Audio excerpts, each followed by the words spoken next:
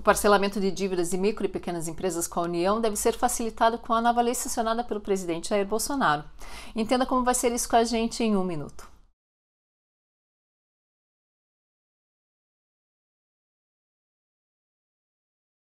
O presidente Jair Bolsonaro sancionou a lei que estende às empresas inscritas no Simples Nacional os benefícios da Lei do Contribuinte Legal. Isso significa que micro ou pequenas empresas podem ter descontos de até 70% sobre multa, juros e encargos, e o prazo de até 145 meses para pagamentos dos débitos com a União. As empresas maiores podem ter descontos de até 50% e prazos de até 84 meses. As dívidas que podem ser negociadas são as que estão em fase de cobrança administrativa, já inscritas na dívida ativa em cobrança judicial. Outra novidade é que a lei aumenta o prazo para que as empresas se cadastrem no Simples Nacional, definindo para 180 dias a partir da data de abertura da empresa. O Simples Nacional é um programa criado em 2007 com a intenção de facilitar a cobrança de tributos dos pequenos negócios. De acordo com o Ministério da Economia, cerca de 1 milhão e 300 mil micro e pequenas empresas do Simples estão com dívidas ativas com a União. O valor do débito chega a 116 bilhões de reais. Agora, a Procuradoria-Geral da Fazenda Nacional e a Receita Federal